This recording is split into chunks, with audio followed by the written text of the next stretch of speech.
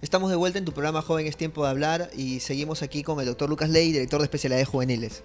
Lucas, tú nos hablabas acerca de la especialización del Ministerio Juvenil y acerca de, del tema de, de, poder dedicarnos y Dios nos ha llamado a la, pastoral juvenil. Eh, ¿Qué persona impactó tu vida y, y, un poco influenció? Porque tú creciste en una época donde esto no se creía. El Señor me, me dio la oportunidad, número uno, de tener una mamá que era eviatra que es especialista médico en adolescencia, que hay muy pocos en América Latina. Es una especialización médica que no ha sido muy popular en nuestro continente, sí en Europa, eh, que son médicos, psicólogos que se ocupan de la pubertad hasta la juventud. Muy interesante. Y obviamente eso me afectó, era mi mamá. En mi casa se hablaba de psicología evolutiva del adolescente y eso me empezó a llamar la atención. Probablemente al Señor llamarme al ministerio y empezar a ocuparme de también cuestiones eh, espirituales y estructurales respecto a cómo alcanzarlos, cómo evangelizarlos, cómo disipularlos, el Señor me fue dando otros mentores, eh, como por ejemplo Tony Campol. Tony Campolo fue un, predicador que invité hace muchos años a un evento en Argentina y a partir de ese evento nos hicimos amigos y siempre nos hemos escrito. En aquel momento nos escribíamos cartas porque todavía no había email y yo siempre le hacía preguntas respecto al ministerio y él a través de cartas me influenció mucho. Y obviamente también tiene varios libros, así que sus libros fueron una referencia. Después el Señor me dio un pastor donde fui pastor de jóvenes en Buenos Aires eh, que tiene un corazón verdaderamente pastoral en lo que la Biblia quiere decir con el término pastor. Eh, y digo eso porque cuando el Antiguo Testamento empieza a referirse al líder del pueblo de Dios como un pastor, lo hace desde la óptica de un pastor de ovejas, que las cuida, que las alimenta, que las protege, que las cura cuando se lastiman, no alguien que las sienta y les da un, un, un monólogo, les da un testimonio. Eh, no es alguien que les predica, es alguien que, que toma cuidado de sus vidas. Y este pastor era alguien que prestaba mucha atención a la gente, sobre todo a la gente en necesidad. Y él fue un mentor para mí, se llama Julio López y, y sigue siendo pastor en Buenos Aires. Después, eh, ahí puedo mencionar a tantos. El profesor Chris Shaw del Seminario Bíblico de Buenos Aires, que era un profesor de vida cristiana que eh, me invitó a tener tiempos devocional semanal con él y esos tiempos me afectaron muchísimo. Y después, cuando fui a Estados Unidos, conocí a dos pastores que me afectaron mucho, mucho. Uno es Juan Carlos Ortiz, que fue mi jefe durante bastante tiempo eh, en una iglesia donde fui el pastor de jóvenes y luego pastor general junto a él.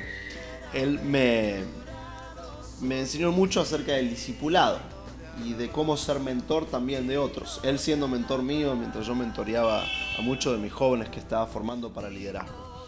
Y después conocí a Mike Giaconelli, que era un, un especialista de la pastoral juvenil. Para muchos, Mike Giaconelli ha sido el padre de la pastoral juvenil profesional en los Estados Unidos y el Señor me dio el privilegio de trabajar junto a él durante tres años y él me afectó muchísimo. Mike, y hablo en pasado porque ya falleció, Mike Giaconelli eh, fue un, un pionero en esto de la pastoral juvenil. Y en esos años donde trabajé con él, eh, aprendí mucho. Mike se murió a los 67 años y él seguía siendo pastor de jóvenes.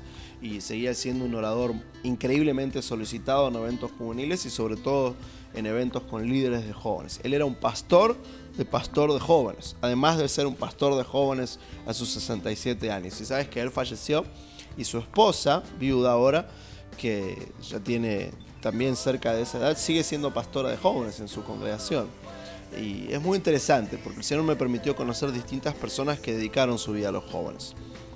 Interesante, ¿no? Un, un buen ejemplo de, de, ver que no necesariamente hay que ser joven para estar con los jóvenes. Si no es una cuestión de edad, Exacto. es una cuestión de llamado, es una cuestión de convicción y es una cuestión de carga. Evidentemente los jóvenes tienen una necesidad de ver modelos creíbles y cercanos que les muestren lo que es una vida cristiana madura. Así que mejor que sea una persona madura, una persona adulta, una persona que puede mostrar, por ejemplo, cómo funciona un matrimonio cristiano. Es tan necesario eso para los jóvenes. Ok, ahora, ¿qué valores son los que fundamentan tu ministerio? Cuéntanos un poco acerca de eso. Bueno, hay, hay varios elementos. Uno es que eh, me parece importante subrayar la autenticidad en el liderazgo. Eh, a mí me, me, me, gusta en nuestros eventos, como hablábamos antes, eh, hacer que los ministros, predicadores, músicos se muestren normales, me, me perturba un poco el hollywoodismo evangélico y esta cuestión de las celebridades eh, ministeriales.